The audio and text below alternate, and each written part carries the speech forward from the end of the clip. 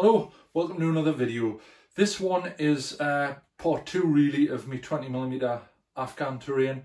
Um, it's uh, items of basically fields, vegetation, irrigation ditches that I've done, stuff like that.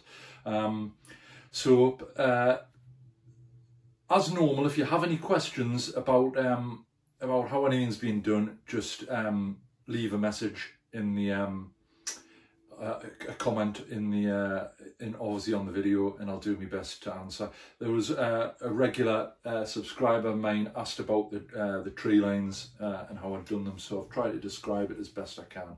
Relatively straightforward um, and obviously when someone's showing you the item and describing it it's better than sort of typing an answer out. Um, so that's where we are. We'll um, go down to the bench and have a look at the bits and pieces.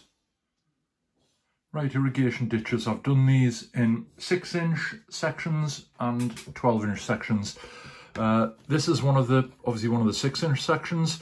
Um, it's basically 2 millimeter ND, MDF um, with uh, this section of um, polystyrene ceiling tile. I, I, made these before I'd come across craft foam. I would obviously use craft foam now because it's a, uh, better to work with.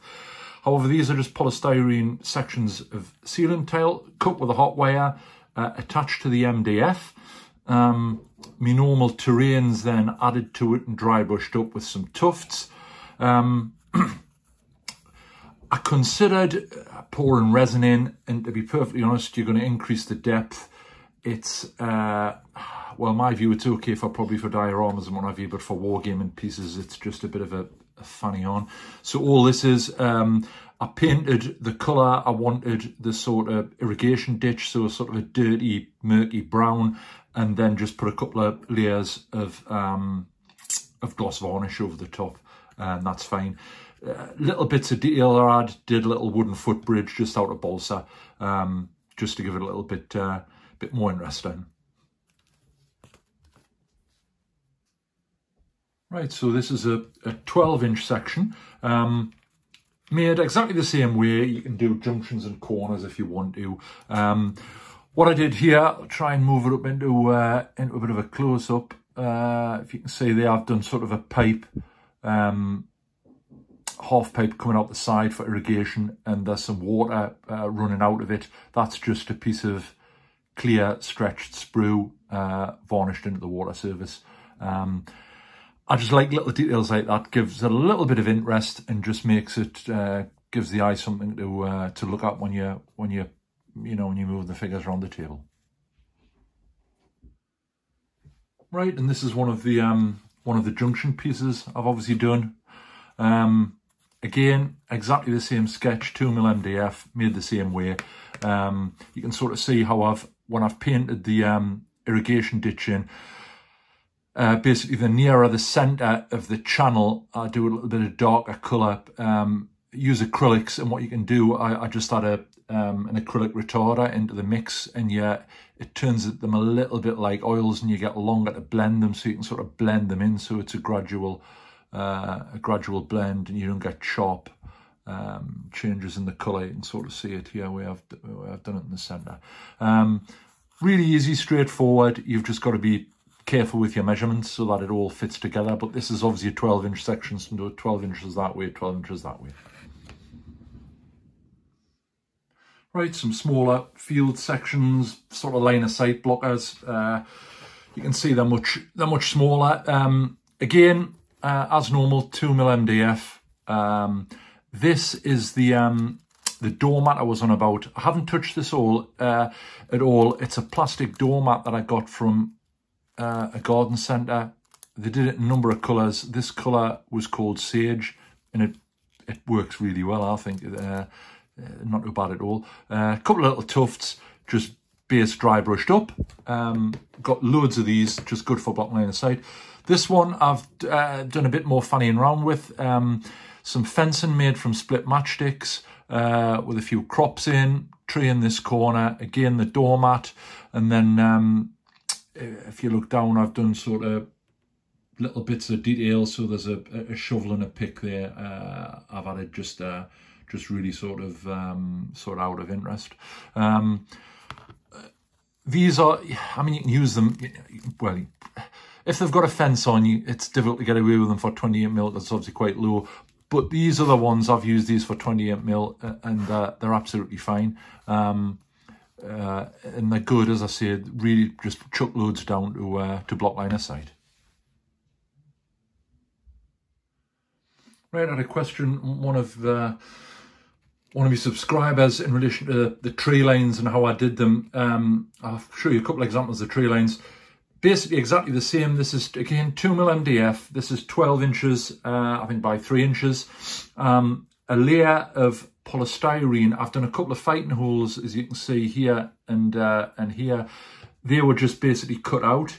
Um, polystyrene ceiling tile glued on, uh, cut with a hot wire, um, and then the normal terrain features put on. Uh, these trees, uh, I think are Bachmann ones, pre-done, relatively cheap, got them from a model railway shop, shop, as well as these. These, I think, I think it was called Low Brush or something. And they're basically branches. You get a massive selection in a box, again by Bachmann. And basically it's just um, banging them in, uh, putting some tufts on, a little bit of static grass, um, Bob's your uncle, really fairly uh, fairly straightforward to do. Um, that's an example of fighting holes in.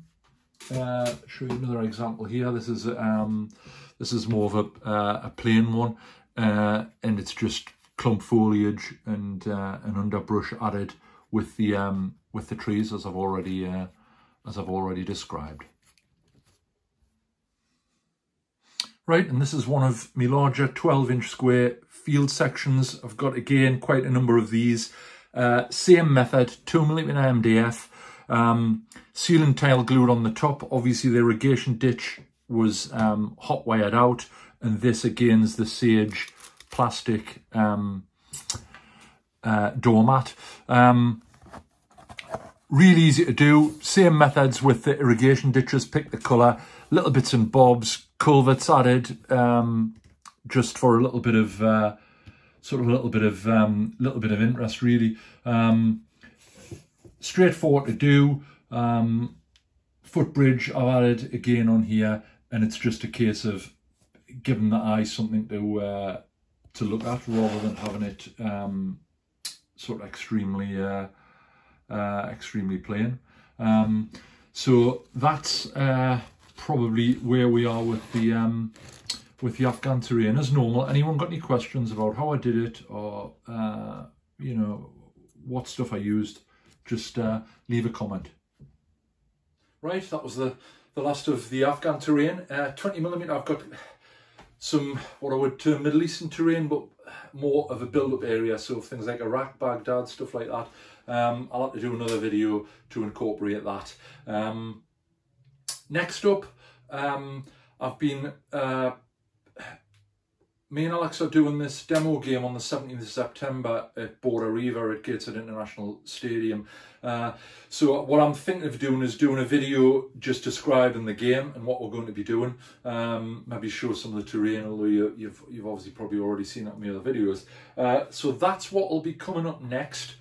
We uh, still haven't moved yet, which is why you can see everything behind us. It's We're just basically waiting on a date, and obviously as soon as that happens, um, will be, I'll be it'll be a little bit more problematic doing videos. I may have to uh, just go to book reviews and then rule reviews, things like that.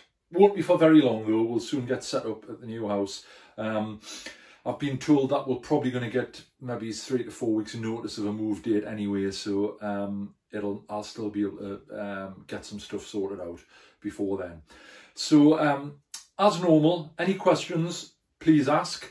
Um, if you're uh, if you've enjoyed the video, please like it. Uh, if you're not already a subscriber, think about subscribing. You can do that from the main channel page. Alternatively, at the end of the video on the bottom right hand corner, there's a button which is an Empress Modern 20mm British Infantryman. You click on that, you're subscribed.